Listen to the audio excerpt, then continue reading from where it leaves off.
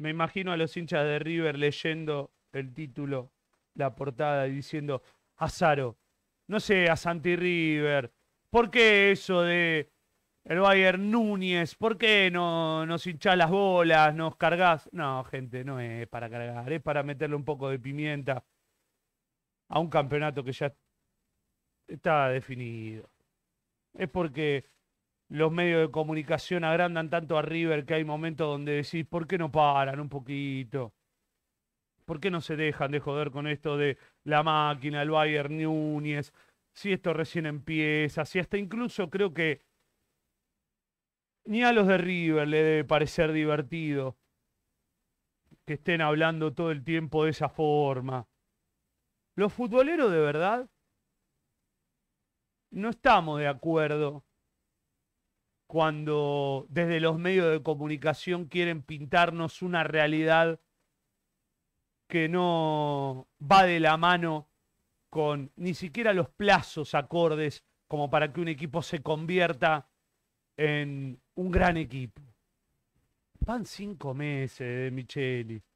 Por eso yo muchas veces jodo con despacio, no pueden hablar como si fuese extraordinario lo de River y lo de Michelis. Si esto recién está comenzando, si le va a alcanzar en el campeonato local. Hacían no sé cuántos partidos desde la fecha 5 o 6 que River no perdía contra Arsenal. Ganó todos. Empató uno. Me parece que el único que empató fue contra Atlético Tucumán. Después ganó todos los partidos River desde ese traspié contra Arsenal. Ya lo veo, no es que, que, prescindo de, de lo bueno que significa este campeonato local para River y la performance que viene teniendo. Sí, lo, lo, lo valoro, pero no me gusta cuando hay un claro enfoque sensacionalista, eh, titulero, totalmente viciado por, como siempre les digo, una bajada de línea desde los grandes medios de comunicación, cuidando a River y exacerbando todo lo que hace River.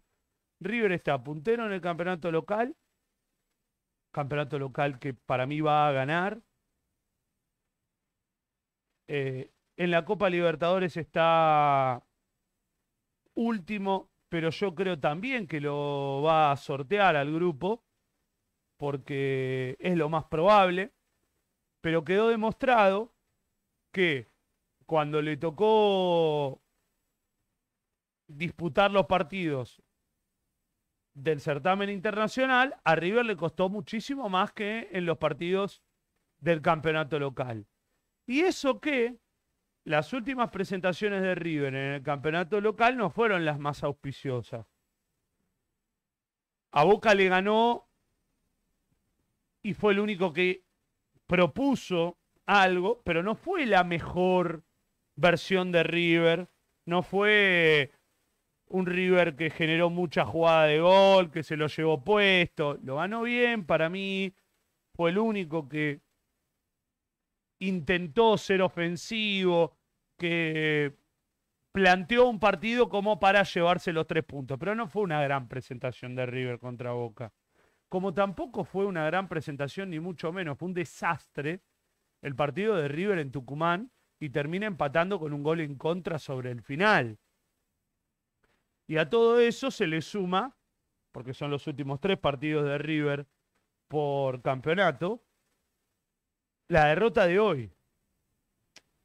Por supuesto que el triunfo contra Boca hace que esta derrota mucho no interese, que aquel empate ante Atlético sea anecdótico y que lo único que le importe a River sea ahora clasificar en la Libertadores y mantener esta distancia que tiene con respecto a San Lorenzo, con respecto a Talleres. Distancia interesante, pero más que la distancia en puntos, la, distancia futbolística, porque San Lorenzo le ganó a Anfield, pero Talleres le ganó a River, pero cuesta pensar en que San Lorenzo y los cordobeses van a poder descontarle estos puntos a River y van a poder ganarle el torneo o complicárselo. Por lo menos con estas 16 fechas jugadas. El fútbol te sorprende, sí. Pero no, no es desechable esto de haber sumado 4 de 9 y de haber jugado peor que lo que venía mostrando River anteriormente a su visita en Tucumán. Yo creo que River hoy lo perdió bien el partido. Fue un partido parejo, pero Talleres acertó y tuvo jugadas muy claras. En el primer tiempo tuvo eh, una jugada en la que Sosa es interceptado por Armani. Muy bien Armani. Hoy fue una de las figuras de River. Cada vez que, que le tocó responder, porque para mí en los goles no tuvo nada que hacer, Armani respondió bien. En esa jugada que sale rápido y Sosa no llega a tocársela a un costado, ni tampoco llega a pasársela a Santos. Yo creo que, por supuesto que desde un sillón y mirándolo por la tele es más fácil, pero creo que si en lugar de puntearse el Armani se la toca rápido a Santos, quizás Santos, o quizás Santos hubiera hecho el gol porque estaba solo. Quizás podría haber abierto el marcador, pero Armani salió rápido, después es la jugada del penal, estuvo muy bien el árbitro en no cobrarlo, en ir al bar y determinar que justamente no era falta de Barco contra Sosa, sino que era al revés, que la falta era de Sosa contra Barco y que encima era una falta de tarjeta amarilla. Pero tuvo esa Talleres, tuvo el mano a mano de Santos, tuvo un tiro desde afuera del área sobre el final y sobre el final del primer tiempo. River también tuvo una de Beltrán que patea mano a mano y después Casco patea por arriba. Tuvo una, un tiro libre de la Cruz. Fue parejo el primer tiempo, pero Talleres tuvo más iniciativa y lo complicaba a River. Y, y en el segundo tiempo, cuando River estaba empezando a avanzar y a Talleres le costaba tener la pelota, una escapada de Ramón Sosa que se lleva puesto a Enzo Pérez, se lleva puesto a, a González Pires, termina en un centro atrás que no iba para nadie, pero el rebote en Enzo Pérez le deja la posibilidad a Garro, que fue la figura de la cancha, de abrir el marcador para un ratito después convertir el 2 a 0 con un golazo. Ahí el partido daba la sensación de que estaba terminado, River mete cambios, entra Suárez. No me parece un dato a tirar por tirar esto de que Suárez está empezando a entrar 15, 20, 15, hoy mete un gol. Si Suárez está para jugar 15 minutos, vale oro. Esos 15 minutos en los que Suárez entra, ya te da un salto de calidad. Tenga la rodilla como la tiene, sea un futbolista que claramente ya no puede contarse como se contó en el pasado, con un tiempo bastante largo de, no poder jugar varios partidos, pero Suárez adentro del área y al momento de definir, insisto, aunque sean 15 minutos, le suma un montón a River. Pudo haber marcado en una anterior Suárez que, Solari eh,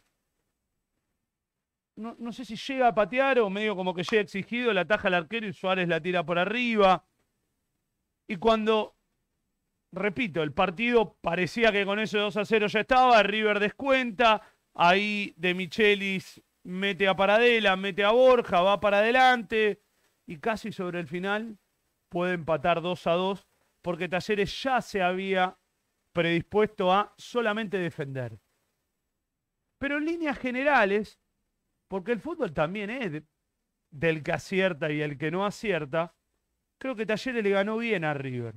Y que no fue la mejor presentación de River y que hubo puntos bajos que ya vienen teniendo partidos donde, voy a poner el ejemplo concreto, el de De la Cruz, ya son varios partidos que De la Cruz está jugando, ya cada vez queda más lejos. El A de la Cruz estuvo lesionado. Bueno, de la Cruz ya está jugando todos los partidos.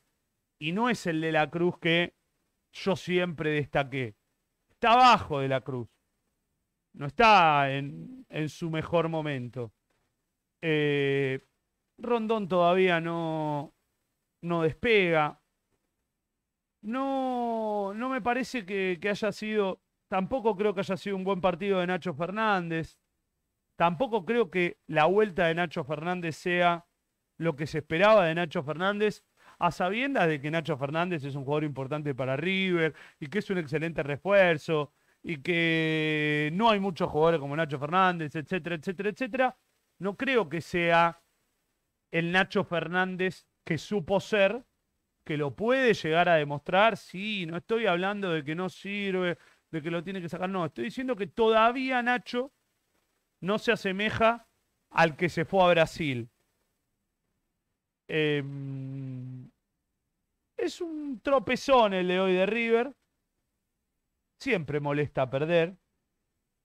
Talleres no tiene... Cuando arrancó el año yo me acuerdo que vi el primer partido de Talleres contra Independiente y dije, che, está bastante desvencijado Talleres, está disminuido, bueno, levantó Baloyes, este chico Sosa juega bien, Santos está haciendo goles, es importante, tiene experiencia, es un tipo que jugó en Europa muchos años, que ya hace dos años, tres que está en el fútbol argentino. Eh, Garro es una, es una sorpresa en parte y que está transformándose en uno de los jugadores más interesantes del año para el campeonato local. Talleres que, que, arrancó desdibujado, empezó a acomodarse y hoy por hoy está en puestos de, clasificación a Copa Libertadores, que es, creo yo, a lo que aspira Talleres, y más cuando ves que, que River está eh, puntero y te sacó la diferencia que sacó, porque son siete los puntos, si no me equivoco, que le lleva a River a Talleres. Y y ahora la cabeza de River va a estar puesta 100%, si son 7, 37, 30 y está 32 San Lorenzo. Ahora la cabeza de River va a estar puesta, si bien primero juega por Copa, por campeonato local, la cabeza de River está puesta en la Copa Libertadores. Eh, algunos me dirán, pará, Flavio, mira que cuando pensás mucho en un torneo y te crees que o inconscientemente sentís que lo tenés ganado, podés perder puntos boludos. Yo no les voy a decir algo que no siento. Yo, creo que la gran mayoría de los futboleros y de los que miramos el campeonato local, sentimos que, que es un campeonato que se lo va a llevar River. No hay nadie que hoy me diga, no, yo la verdad me la juego que San Lorenzo le saca el campeonato a River. ¿Quién te va a decir? Adolfo Reyes te puede decir eso, no sé, un hincha de San Lorenzo. Uno de Talleres que hoy está envalentonado porque le ganó a River. Medio en pedo a las 2 de la mañana en, en Córdoba, en algún bar, te dice vamos a salir campeones, pero mirándolo con un con un dejo de sinceridad y sin pasión, porque no soy ni de San Lorenzo ni de Talleres, es difícil pensar que Talleres y San Lorenzo le vayan a pelear el campeonato River, o Defensa y Justicia, que está con un punto menos, o Estudiantes. Boca está lejísimo. River le sacó 16 puntos, Racing ni figura, Independiente tampoco. Pero River hoy demuestra que no es una máquina, viene demostrando que no es una máquina, que no es el Bayern Núñez, que de Michelis no es eh, el entrenador que nos quieren vender los medios de comunicación, pero no porque es malo o porque yo soy anti de Michelis, porque hace cinco meses que dirige en primera porque es su primera experiencia. Entonces, todo eso que le quieren adjudicar y titular a este equipo de River, no va de la mano con, reitero, el plazo que lleva este proceso con De Michelis a la cabeza. Un proceso nuevo, con algunos futbolistas que recién ahora están jugando con la camiseta de River. González Pires el año pasado no anduvo bien, ahora es titular. Eh, Díaz, el 3, llega por primera vez a River. Em, Beltrán es la primera vez que es titular en River y tiene esa responsabilidad. Rondón no arranca. Borja más o menos. River se está armando. Le alcanza para el campeonato local, pero de ahí a transformarse en de Michelis, un técnico gana partido, como ponía el otro día. La máquina visita Córdoba. El Bayern Núñez. Despacito. Despacito. Despacito porque cuanto más alto te ponen, más fuerte puede ser la caída. Entonces, y porque los hinchas no queremos que nos vendan una realidad que no es, porque sabemos perfectamente. Sí, después nos encanta que, que no haya quilombos en nuestros clubes, que parezca como que todo está controlado, pero internamente cuando hablamos con nuestros pares en la tribuna, en la platea, le decimos, che, mirá, no seamos boludos, Roberto, que todo bien, que Teis Sport ponga Bayern Núñez, pero no somos el Bayern Núñez, ¿eh? Nos comimos cinco con Fluminense, tres con los bolivianos y nos hizo, nos hizo dos Sporting Cristal, ¿eh? Diez goles en tres partidos, Roberto, ¿eh? Y en Tucumán jugamos mal y a, a los bosteros le ganamos porque, porque vinieron a defenderse y, fueron un desastre y hoy por hoy somos más que ellos. Pero no como volver eso, Roberto, ¿eh? Esa es la charla. O esa para mí debiera ser la charla. Les mando un abrazo grande y mañana nos encontramos a las 22, horario tradicional del Loco y el Cuerdo con mi amigo Duca. Ganó Talleres 2 a 1. Fue justo y River perdió después de... ¿Está bien 11 fechas? ¿Fue la sexta la última vez que perdió River? Chalequito. Vos sabés estadísticas de Racing nada más, ¿no, Chaleco?